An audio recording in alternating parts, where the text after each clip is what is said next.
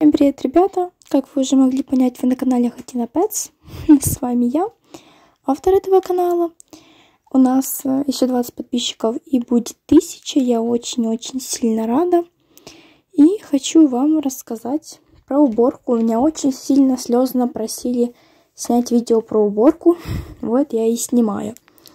Не переживайте, что у меня улитки в таких маленьких контейнерах. А, и это просто на время того, что я уехала в село, так как я не могла уехать надолго. Ну, я уехала, точнее, ненадолго. И не могла взять все свои вот эти вот коробки, контейнеры. У меня их очень много. У меня один 65-литровый, два 20-литровых. И еще очень-очень много. Вот мои фулики, у них здесь есть мел, у них каждый день еда свежая, что, в принципе, очень хорошо. Вот, и я уверена, что улитки живут неплохо. Фулики я решила селить вместе, так как они для размера фулики очень даже хороши, красивые, большие. А, вот. И что они уже могут делать потомство. И это видео было записано раньше, я вот вам сейчас рассказываю. А, что улитки уже начали, скажем, делать детей, поэтому если все будет хорошо, будет гладко, будет свет, будет тепло, а, я постараюсь оставить несколько улетят. Точнее, я, наверное, оставлю, скорее всего, всю кладку, а улетят уже буду отбраковывать и буду продавать. Ребятки, вы подписывайтесь на мой канал, Ставьте лайки, пишите свои страшные истории. Кстати, истории будут выходить тоже часто, просто э, ну, надо как-то искать, где эти истории читать и так дальше. Но вот как-то так. Убираю своих маргинаток. Маргинатки у меня вроде как на броне. Их должна девочка забрать в конце месяца, если я, когда я уже буду в Киеве дома. Я постараюсь вам это все заснять. И когда она их заберет, как там это все будет. Э, на бардак сзади тоже не обращайте внимания. Это так, нормально. Насчет маргинаток, это у меня единственные маленькие улитки, которые еще хорошо таки растут. Э, но им, так как они архи, им этих вот 2,5 литра, в которых они живут, хватает, в принципе, хорошо. Далее вот я по маленьким контейнерам расселила своих лимочек и эксов. Экс у меня в продаже. Еще у меня в продаже мегалобулимусы. Для того, чтобы купить мох, ягель, палочки с лишайником, э, там этих вот улиток, что-то еще, дубовый опад, много-много всего, пишите мне в описании, есть ссылка на группу. Я в группе э, главный администратор, или как там пишется, супер администратор.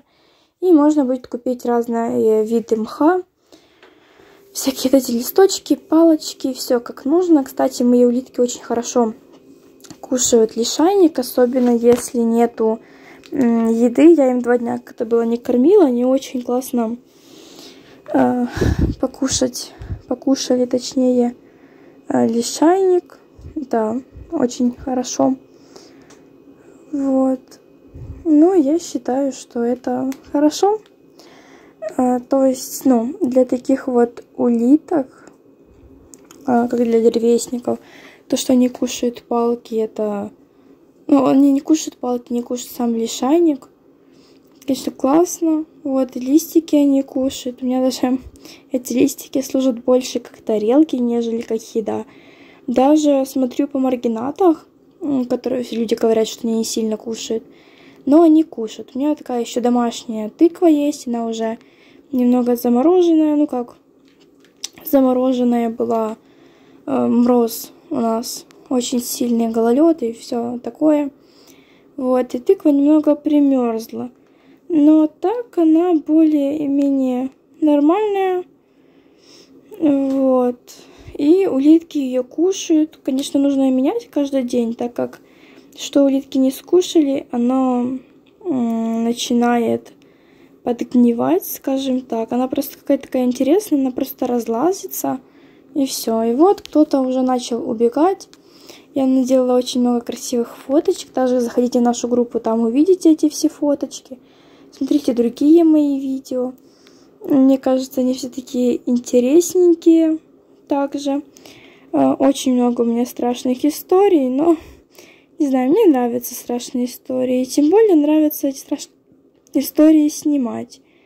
Ну, ребятки, вы пишите свои идеи для видео, и тогда будем с вами стараться делать видео на темы, которые нравятся вам, чтобы они вам нравились, и вы также смотрели их до конца, желательно.